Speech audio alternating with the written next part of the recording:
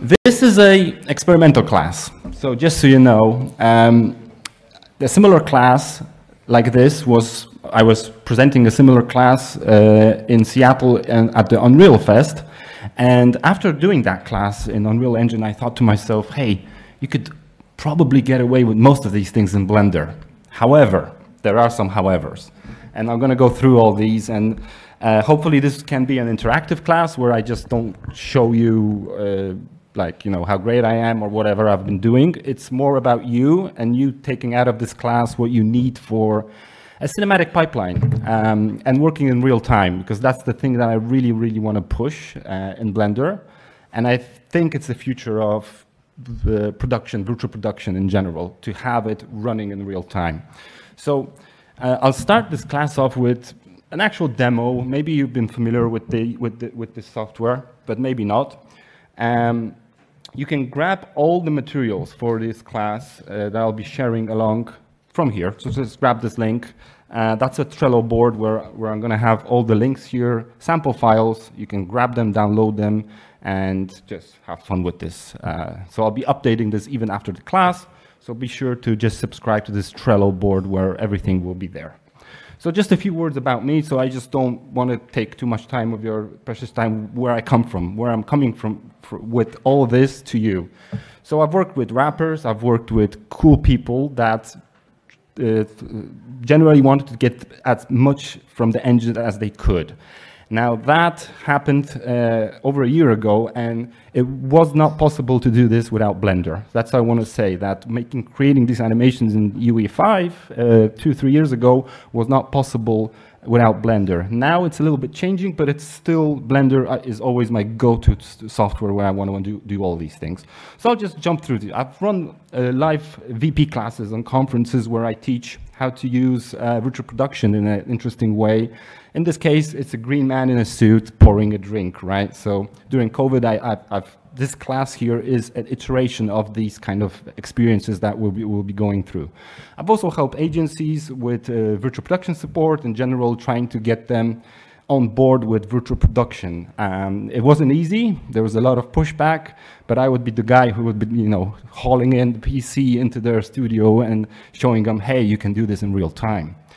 So MetaHumans in VR, that's another thing, great project. Um, also, without Blender, not possible. All of these things without Blender would be not possible. There's always one thing happening that's part of the pipeline that has to go through Blender. It's just the way it is, right? Also, world building uh, in 2023, uh, uh, hosted by Epic, was a eye-opening experience for me. I learned all about, um, yeah, I'm going to talk louder a little bit, sorry. Um, all about creating worlds in Unreal Engine, and a lot of artists also work in Blender uh, for the conceptual thing before they bring it into Unreal. So it's very interesting. Now, to finish off all, all this, the Animation Fellowship was brought all, all of this um, together, where I had a, like a, a, class of 100 people, like here, but online. So it was, uh, it was a whole different experience. But we've basically pushed through this and teach online the same kind of curriculum and a lot of VR and AR experiments. Uh, back in 2014, I went viral for this crazy thing for just strapping up a GoPro. And last thing, acting in mocap. Acting in mocap is fascinating. It's a whole whole world. Um, and I want to touch on this because in Blender, it is possible to do this. Um, and I want to show you what are my approaches and how I how I how would I go about do, doing something like this. And also last thing, Blender and AI, um, taking a head and applying AI to it, it just results in a cool thing um, for rappers, right? Rappers love these things. All right, so let's jump into Blender, right? I don't want to take, like, don't want to take too much time and just like, this is a class, right? We should be doing things. Um, so last year I took this, this amazing 3D scan that I'm really proud of still till today, uh, where I run around the whole conference and ask everybody to sign it. But this is cool, right? But I want to do something interesting and just something different, right? Um, so let's start off with something called Omni Omniscient. Omniscient. Omniscient. Um, oh, sorry. Omniscient. Now, I'm not affi affiliated Omniscient Blender with any of these plugins, However, they're one of the best plugins. I've, I've researched a lot of these, uh, camera trackers, generally things that are able to do these kind of things. And I'm just going to show you everything that I use. And it's, it's just a great thing to, to um, have shortcuts, have, have a lot of shortcuts here uh, if you're bringing uh, these kind of experiences into uh, Blender. So let's get it, let's get going. How do you install the, the plugin? How do you get going? Well, Let's get our plugin. Uh, now, installing plugins in Blender has been a, a, breeze now. You just get get out on and drag and drop this guy, and it will, if you don't have the add-on, it will automatically request you to add that add-on. So I'm just going to check here that I have that add-on. All right, we're all ready to go. So let's hide this guy, go here.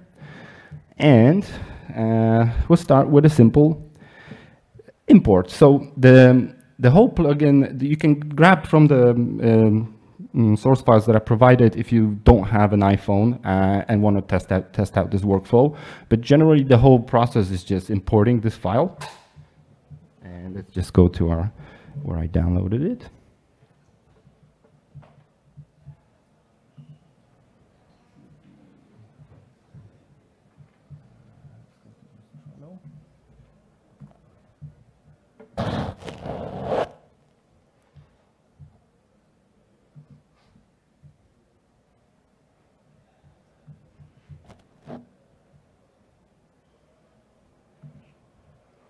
Just quickly grabbing that download. This will be all happening in real time, so don't worry. Uh, and I'll hopefully be able to show you on my app how it looks because this is this looks on the phone because it looks kind of amazing on the phone too. So let's just quickly extract this.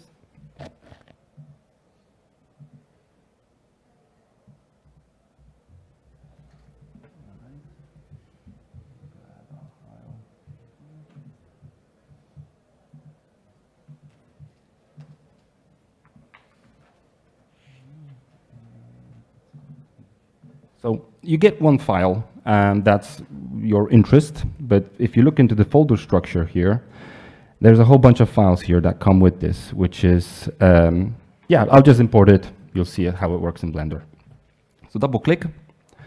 And this, oh, this saves so much time. I'm just sorry, like, uh, to do this before was kind of, took a whole day, uh, just to get everything up, everything working and, and uh, in that sense. So it's essentially, let me just hide this mesh, this scan for now. Essentially what this plugin do does is it maps up a, a whole, um, let me just hide this also, this cube so it doesn't get in the way. There we go.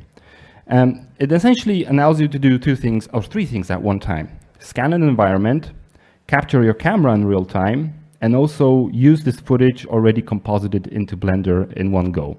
Now this comes in like this, and we can work on this now and try to um, make this more interesting, right? Um, now I work in a cinematic pipeline uh, just with real-time tools. I really like those real-time tools that they jump into this, they go into this, and I can start iterating, right? So let's have a look here. Now we have this plugin already installed. This is, by the way, this app is free. The only, I think, uh, the, the, the paid thing that gets you it's 4K and also automatic uh, and exporting to Unreal Engine and, and stuff like that with USD. Now, with this project, um, I'd like to bring in some characters um, so I can have like a character here, right? Um, because right now it's just it's just this. Uh, let me just quickly go to my tab view here so we can have a look at the plugin folder. So it usually comes here with import EML, um, and I can also do some settings here uh, that would enable this. Let me just get this a little bit bigger so we can see more uh, of the UI resolution scale. Yeah, much better. So there's a use shadow catcher, use holdout, all that. Let's add an object, right? Because that's kind of what we're what we're here for. We want to add some some kind of cube for now. So right now, let me just view this selected. Mm, grab our cube. Nope. View selected, all right. Just move this up here. We'll delete this cube for now. Scale this a little bit down. Just want to place it in the scene so we can see it somewhere here. Um, while I'm doing this, by the way, I want to do some stop because I want to do something. Uh, I don't know who I'm talking to right here. I want to do an experiment. Um, every time I clap, or you clap, I'm going to clap together right now, uh, is one year of using Blender. All right? So how long you've been using Blender, I'm going to just start clapping, all right? All right, I want to just get a, a hand. I'm, I'm going to start slow. So try to uh, calculate in your head how many years you've been using Blender and just clap. If you've been using one year, that's one clap. If you've been using it 30, 20 years, that's 20 claps, all right? So let's try to do that. All right, three, two, one.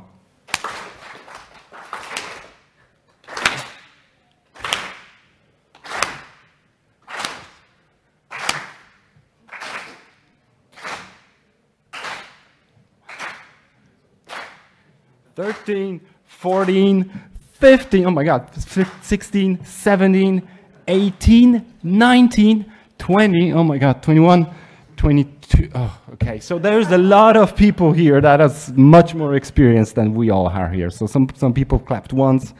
Uh, I clapped eight, eight times. That's about since 2.8 got released. I think so. So uh, yeah, it gives a, it's humbling to be here because there's so much experience here in Blender and I'm kind of struggling to put a cube here. But here's the thing. I want to, I really want to uh, showcase you these kind of tools and the way I work through uh, the USD pipeline also because that's another fascinating thing that I've mm, just uncovered and, and been using it because I hate FBX. FBX just drives me crazy. It takes too long to download. It's a it's a pain in the in the in the butt. Yeah. All right, uh, let's have a look what we got here with our, with our setup here. So we got our dock here. Um, of, of course, this is no green screen, right? But the thing is, uh, if we would run this through a some kind of AI green screen, we could remove the background, and that would enable us to replace this background with uh, physical objects. But we, we are already here, as you can see, with that cube tracking on that uh, on this floor, um, pretty far ahead, right? Because to get to this point, it usually took, um, yeah, um, a lot of time usually, right? So the dog gets excited and everything. So uh, all I did is just, you know, scan that environment all around, and that gives a great presence for Blender and us and our tools to just start adding objects here that are interesting. Now, I already, I, I also have a second plugin that I really want to showcase, and I, have just found so much fun doing this, uh, working with this plugin. Uh, and it's actually mentioned in the Trello. Let me just go back to Trello.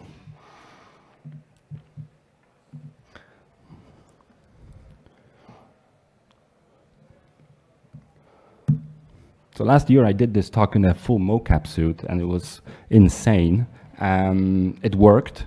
So right now I'm just going to use assets that I ha already have, so I don't need to dress up into a whole mocap suit. But there are some other um, innovations in, in mocap uh, that I kind of want to, uh, because I went from the high tier, the very expensive mocap, and ended up using uh, a Sony Mocopi, which is a low tier, um, not expensive essentially. Um, but let, let's, all right. Uh, but there's so much I could talk about motion capture and stuff, but I just want to continue on with this talk. So Shoot It. Shoot It is another amazing, amazing plugin that I've been using, and it essentially helps us do stuff like this. And for a real-time cinematographer like me, I just love these things because they can they can bring so much um, more dynamic things to our scene, uh, and it happens so quick, like I say, with this plugin. So let's just grab. I already purchase this plugin, and it's uh, it's what are we at? A couple of dollars, right? So let's just let's just get this plugin and go to extensions. Do I have it enabled? Let's have a look. No, we don't have it enabled. So let's just quickly grab it from the Blender market. Uh, let me just log in here quickly.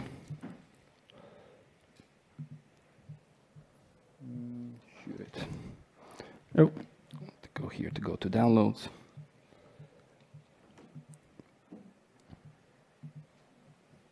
all right, got it already here, which is good. So just open this up. And and enable the plugin. So uh, when plugins come from the Blender market, um, uh, the official store, it's actually easy. So it's a drag and drop operation. But when you're doing add-ons here manually, you kind of have to go here, add-ons, install from disk. That changed in Blender, in the new Blender version. All right, so just get shoot it, shoot it.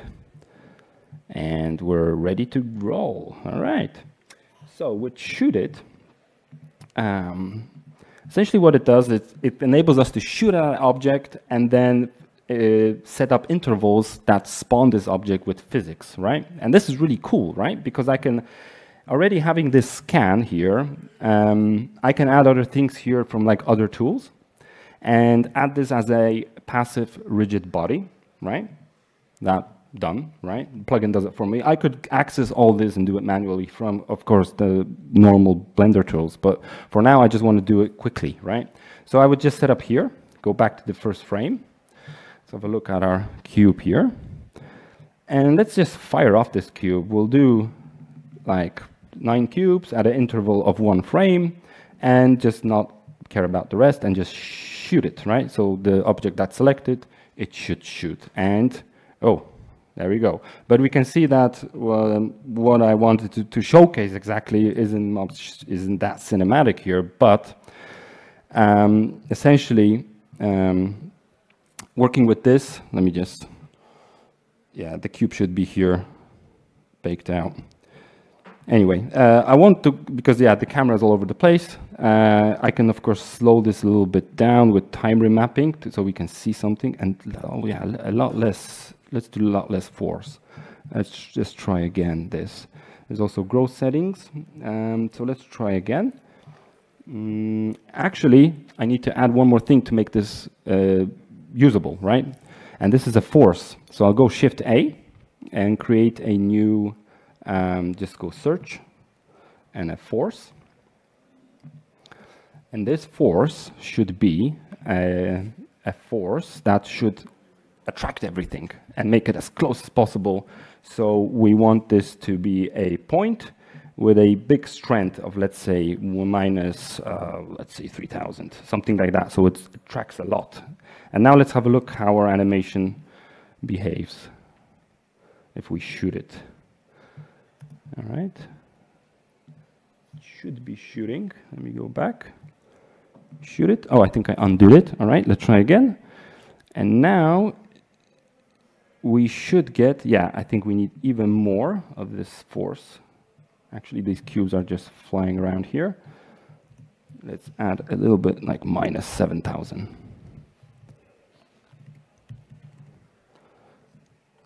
All right. And now go back and see how that behaves. So you can see what I, I usually with these simulations, it's a good idea to give it a little bit of um, time to, to, to get them into control, right? Uh, and then from there you can continue. Now the, the simulation is caching into 250 frames, so let's just make this a lot longer. So we'll just type in cache in the search bar here. Oh, I love this feature from Blender that you can search everything from the cache. And you can see here, uh, and 250, let's add this to, let's say, 2,800. And now we should be able to, if we just hit, and this is happening all the time in real time. I haven't actually baked out anything, and that's amazing, right? And it's, it's actually chewing through it right now, right? And it's really cool that you can actually, if your PC can handle it, you can grab these objects and start moving them around, right? And I really like this, this workflow, right? And just wait for the, you can, you can kind of control where your objects are spawning, where they're, where they're behaving. Let's go into the camera here so you can see them. Yeah, flying around my dog. So yeah, uh, just, just two plugins, right? Uh, and we already have a pretty complex scene, right? That I would, uh, if I would be doing this on my own, it would take me a very, very long time to get this set up and, and just essentially get going, right? So these are just these are th these things, right? And how do you use this with characters now and also export this into, let's say, Unreal Engine? Because it's usually the case where I start in Blender and I create something and I want to move it into Unreal Engine. And then I find out that half of the things don't work. Uh, and yeah, So working around this is actually really, really uh, was was tricky for me, and uh, but these tools help me to understand how this works. So in order for this to be exportable, right, all these cubes, right, because they're right now being simulated, right, which is which is nice. But when I um, when I actually export this into a USD file, there won't be any animation. So let's just uh, so for the sake of time, I'm going to cut this into just so we have about 800 frames here happening. And we're going to hit F3 and go bake. Uh, it should be actually bake simulation. Um, just select here these cubes. Now F3. Uh, bake to keyframes. So we would bake to keyframes, just make sure we have that, uh, the range, 1000, and hit OK. And that's prepping up for us to be able to export this into a USD file and get it outside of Blender, right? With, with the animation already happening. So it's baking out this animation right now. And now we should have a nicely baked out animation. So having these objects selected, we can go now File, Export, and Universal Scene Description. Now, Universal Scene Description is a beast of itself. I don't want to go too much into it. I just want to show you how quick you can get stuff out and into, into Unreal Engine and have it play back, right? Because that's usually the case where you want to move things back and forward. So let's just grab here and just type in floating cubes, right? And just click enter. Now we want to do selection only. We want our, our animation also. And I, I think that's it. There's not much to this that we should add. Perfect. So just grab this folder and export USD. And that, that, went, that went quick, right? Wow, that's already there. Um, all right, so now let's say back in Unreal Engine, we want to bring, bring this quickly in. Uh, through the USD plugin, we go Edit, Plugins. Uh, this is a fresh Unreal project, there's nothing here. And go to USD Importer and just enable this plugin. And we'll do a quick restart, save this, and just call it map.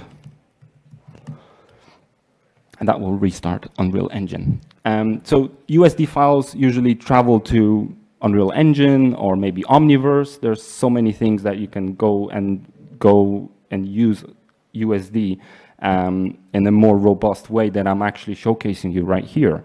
But it's good to just get uh, get a hang of it because I've seen so many 3D artists still get stuck in the FBX world, which is which is annoying when you when you actually have to work with this stuff um, and export big files and stuff. And for me, USD was a, a big game changer when I needed to export like a complex simulation. This is not complex, but there are many more things that, like say, a driving car and passing through these blocks and hitting them, uh, that may cause some, some, you know, some uh, some issues if you're trying to export through FBX. It's just a it's just a really really um, annoying thing to do, right? So I'll just let this compile while this is happening, and I want to open up the floor to questions because I don't want I don't like ending up a a session with uh, you know and everybody and the next session comes in. So please feel free to fire up a question, uh, anything that comes to mind after looking at these. Yes, yes, sir.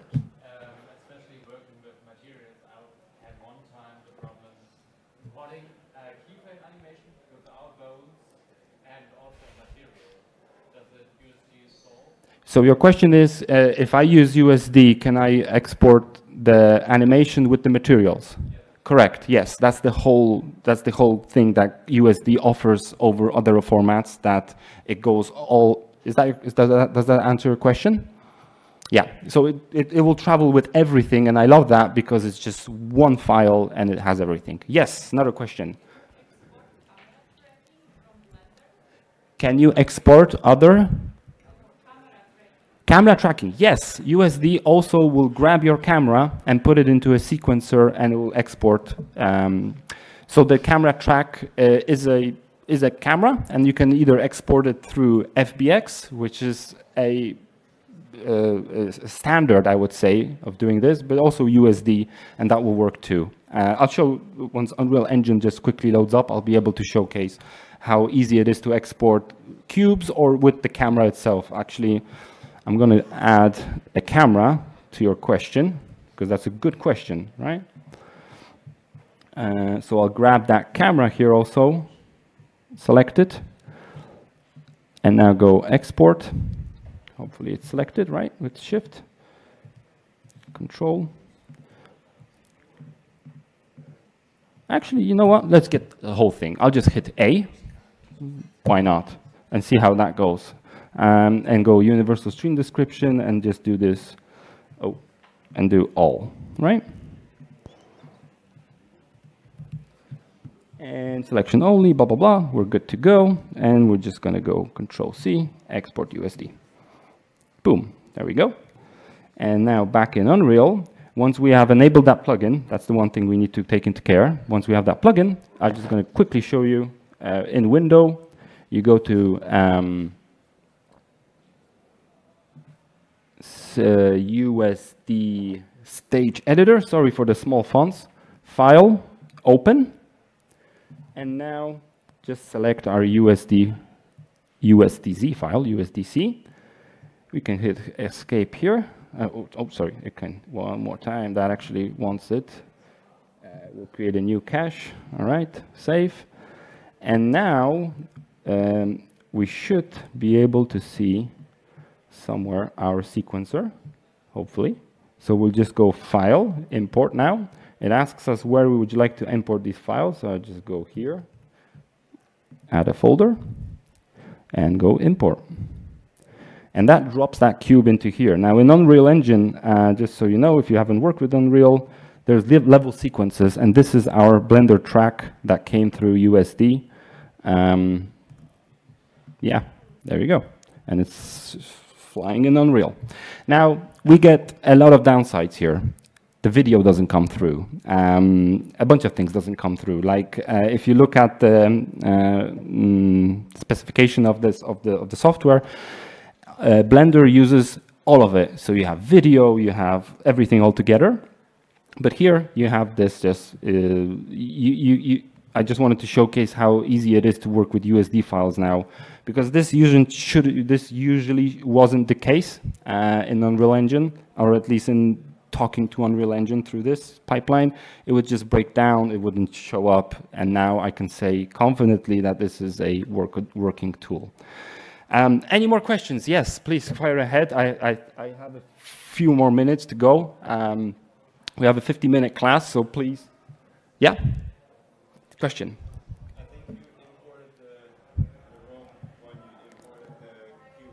Right?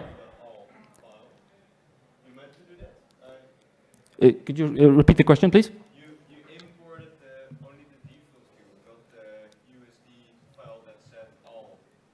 Oh, okay, good, good, good, good, good, good point, good point, sir. And let me try again then. Uh, so we'll go to, we'll do it, just we'll do it again. We'll go window, USD stage editor, file, open. Oh, yes, you're right. And now we'll hit open. See what will come through. Yeah, the scan should come through now, which is nice. We don't have to worry about all that and that comes from Blender. So we'll go File, and now before we, we can actually do stuff to this, we'll just add a new folder. Always good idea is to add a folder for every import you do with USD, so it just doesn't uh, get in the way. All right, and now we should be able to source our sequence created in Blender right in USD and shift space to playback, I think, yeah. I think this is the old cube store. Yeah, thanks for that. Yeah, so this is the, so you, as you can see, we, we are not getting video. We are not getting uh, all the cool stuff uh, with compositing that, that, that happens through, uh, through Blender. We would have to set this up in, in, in, um, in Unreal separately, but that's a whole different class. Uh, we're here for Blender, right? So, but anyway, what I want to, what I want to leave you with uh, food for thought um, working with cinematics in this in this um, in this realm is is exciting because I've never had the possibility to actually have things happen in real time. And when it comes to, uh, if you're a developer, uh, I want to leave you with a untapped um, software here that doesn't exist in Blender. There, there's no possible way to stream live data unless we use some kind of VRM, crazy technology, um, to actually have it working on a character. For some reason, um, there's no way to actually stream the data. Now, Mocopi, which is um, Mocopi, Mocopi SDK, provides a very nice little piece of software called the BVH Streamer. Let me just zoom in here. So there's a bunch of things for Maya, Unreal Engine, MotionBuilder, Unity. Where's Blender, right? Ah. So we go to BVH Sender, grab the BVH Sender file, and from here, quickly download, uh, save, got it.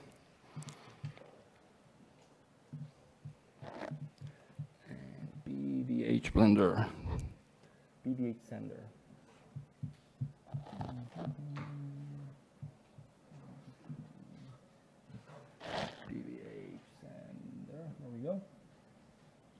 Let me quickly load up this application because it's, it's actually interesting. Um, so we get this. We can select the BVH file. Uh, normally, you import and do them and stream them live.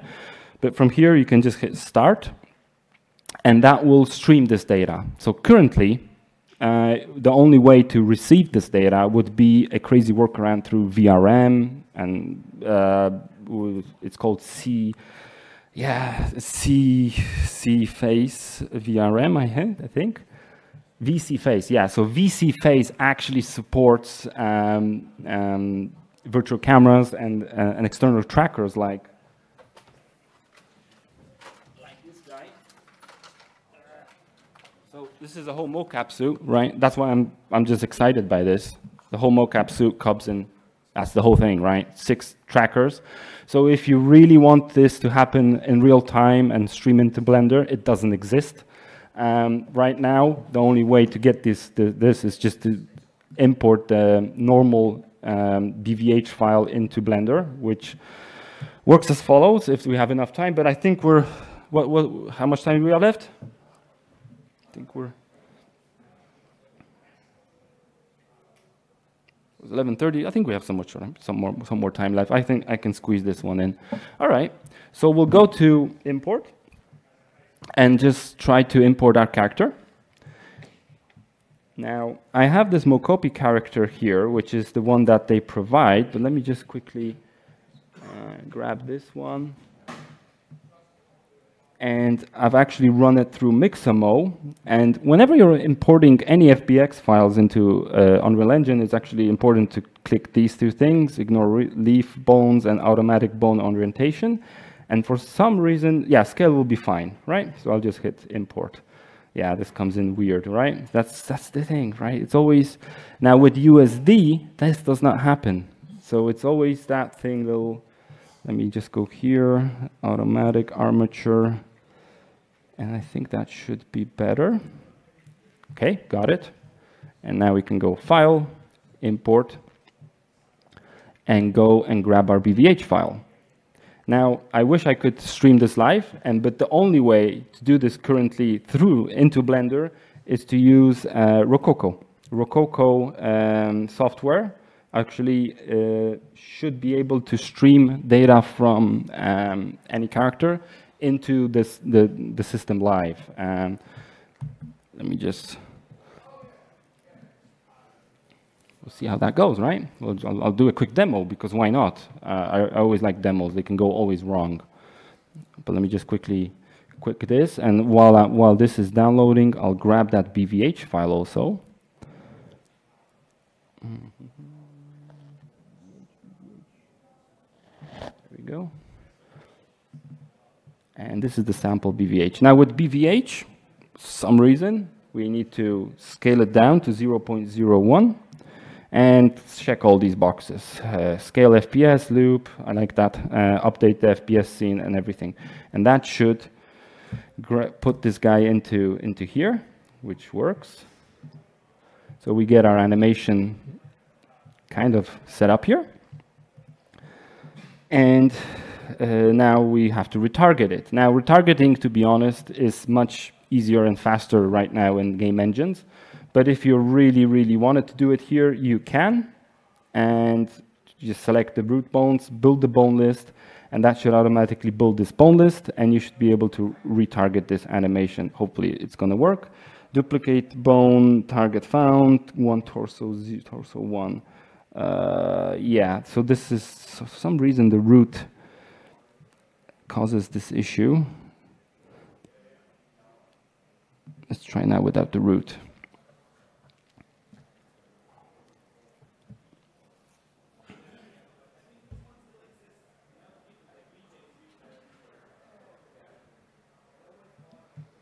Mm -hmm. Yeah, and we get some weirdness probably. Yes, as expected. Um, that should not happen, but that's because it's missing, I think it's missing the root bone for some reason. And I would have to add that, so I won't worry about it right now. So you can see how annoying it is to work not in real time, right? You get stuff like this all the time. There's something not working, there's a bone missing or something. But if we do it in real time, let me just undo this, uh, and hopefully it will work this time. Uh, it's asking for an update. Okay, let's go for it. But anyway, that's the only way to do it, either Rokoko or crazy VRM software. So if you are a developer, I highly encourage you to take a look at the uh, Mocopi, Mocopi SDK. Uh, preferably not in Japanese. And from here, you, you can download this um, and have a look at it because the receiver plugin is already there. So all we need to kind of build is the plugin that will receive the data and we, we, we could record it directly to a character, which would be, would be, would be really nice if we could do this right now because as you can see, there's a whole bunch of workarounds right now. Are there any more questions? I'm just kind of talking here. Uh, yes, the question, question, no? There's no many more questions, that's fine. Yes. Do you meet uh, some problems with USD import with scale at uh, Blender inside Unreal? Usually no. That's my answer. I always had problems with FBX, GLTF, all of that would just go randomly in scale, while for some reason USD um, just works it doesn't mess with my scales that much. And that's why I use it mostly because then I don't need to guess, hey, does it, did this come in the right scale or not? It's, yeah, it's a whole bunch of things, right? So let's quickly, I, I, I, won't be able to put on the mocap suit too much, it would take too much time to, to actually get set up here, but I'll just quickly, quickly sync up a high fidelity animation that I've recorded before, and you can use Mocopi in Rokoko live, which is, which is really cool. And by the way, uh, Rokoko, unfortunately, is a subscription-based software. However, the Mocopi uh, Sony soft, Sony hardware actually there's no subscription, and it's the only mocap suit I think that doesn't have any kind of subscri subscription, which is which is nice because you can buy it and then just work with it from there. Yeah, this has to sync up through the through the cloud, and hopefully we should be able to just quickly add this character in and stream it into Blender.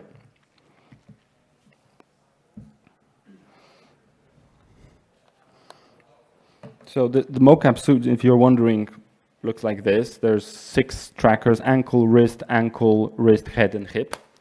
And they all come on with these little straps here, and you can put them in different places, right? I'm excited about this, like if I could put this on my dog or something, and re-rig it through uh, AutoRig Pro. I think they released a whole bunch of rigs for dogs. That's why I'm talking to you developers here to create a plugin that I, I won't have to go through um, yeah, a bunch of things here. So this was recorded on a super high fidelity with the Coil Pro, right? Which is uh, which takes care even of stuff like uh, hand placement, right? So the actor here was actually using a real driving wheel. So his position is exactly how it's supposed to be. The same goes for gaming, right? Say you're you're you're playing on a gamepad, which is really cool uh, and you need that little detail of those fingers right happening. That's when you would use these kind of high precision coil technologies, right? Um, so let's just let's grab a animation here that I can use. Um, something, let's say, oh, I like the dog pet, right? Because I got maybe dog pet. Let's see what else do we have here. Oh, this is like actually using a phone. Yeah, that, that sounds good. All right, so let's, we can export this from here uh, and go into uh, a Mixamo skeleton, and that should work. Um, if, if, we have the Mixamo skeleton there, so just go export. Sorry? Oh, th these come through, unfortunately, always through FBX. They come out of here through FBX, so there's no USD. USD usually comes from Blender into other software. It's the, it's the best, or from other software into Blender also. Um, but for some reason, characters um, mostly are using still the FBX pipeline, um, which is, yeah, it just, as you can see, it just takes time to export, time to import. There's a bunch of things that you have to kind of do. Um, come on, come on, come on. I, I wanted to show, show, a shorter animation, but oh, why am I exporting? I was supposed to do this in real time. Oh my God. Let's go back to streaming. Um, let's activate the Blender thing, right? Uh, let's make sure we have our settings here. Forward IP, that sounds good. We're doing this locally, so we'll just hit activate, move, to this, move this to the side grab Blender and start receiver. Um, here this guy. And actually, oh, let's try again one more time. So we'll do copy. So what, if we're sending the data here, I know it's a little bit tricky, but we can pull through this. Uh, Rokoko, Rokoko. So just get rid of this cube start receiving, right? And I think there was one more other thing that I needed to do to get this character to show up. Mm. No. Yeah, um, interesting. I'm probably missing one thing. Uh, do I have the newest version? Yes. Um, yeah, that's the thing, right? It just so if some developer can solve this, that we can actually stream from a simple BVH like this thing, right? Because what, what we're seeing here, like this is a very complex piece of software that's doing a bunch of things. And I kind of don't need to do that unless I have it in Blender. But to get it into Blender in real time, that's where it comes in the tricky part, right? Um, maybe I'll, I'll be able to showcase this, but yeah, um, essentially it's it's not that easy to do because it's something to do with the ports or something to do with just uh, okay let me just click here. One more try. Start receiver. Ports are different. Oh thank you. Thank you for so we got 43 here. Oh 53 all right. Thank you for that sir. 43 uh, let's think with live demos, all right. Uh, receiving no data, all right. Oh. Oh, activate, yeah, got it, all right. Start receiver. Is it, does it, does it nudge it? Uh, receiver 43, that sounds good.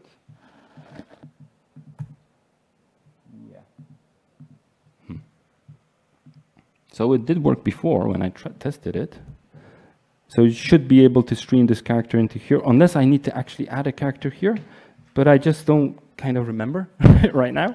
Um, so I encourage you to just play around with this because it's a, it's one of the tools that you can do things in real time uh, in Blender. Um, I just don't know why it's, oh, oh, it's getting the, oh, I think I know, I know, I know, I think I know. It's getting the Newton character, so something is happening. Um, let me just quickly, as usual, Rokoko Blender uh, documentation. I think there's one checkbox that I'm missing. Um, all right. Uh, no, not this one. Cocoa plugin. It's always fun solving these things in real time. But I remember that there was one checkbox that I needed to check here um, for this character to get going. Actually, let's import a character, that will copy character. Just roll with it, right? We'll copy Unreal.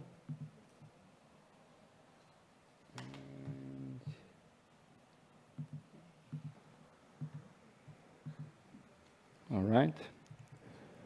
And we'll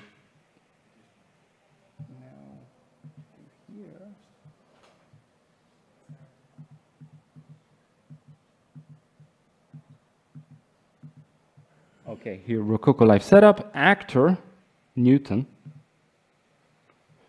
And I think that's it. That was the one checkbox that we were missing.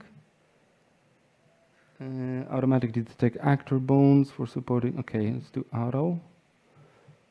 And set typos. I think it detected some things, but they're not all the way there. Naming conventions.